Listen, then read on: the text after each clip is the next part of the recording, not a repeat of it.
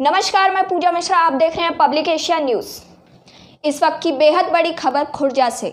दो शराबियों ने शराब पीकर किया खूनी संघर्ष। दोनों शराबियों ने किया कांच की बोतल से एक दूसरे पर वार। डॉक्टरों ने दोनों की हालत गंभीर देखते हुए किया हायर सेंटर रेफर।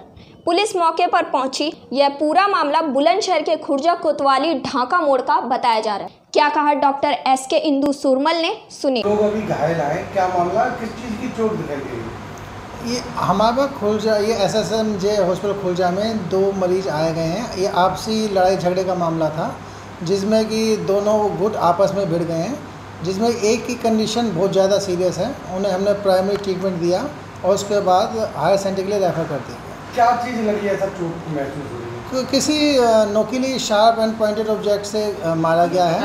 और चोट गंभीर है ब्लड बहुत ज़्यादा लॉस हो गया है हमने प्राइमरी ट्रीटमेंट दे दिया है और जल्द से जल्द हायर सेंटर के लिए रेफ़र कर दिया गया है। ऐसी तमाम देश और दुनिया की बड़ी खबरों के लिए बने रहिए पब्लिकेशन न्यूज़ के साथ।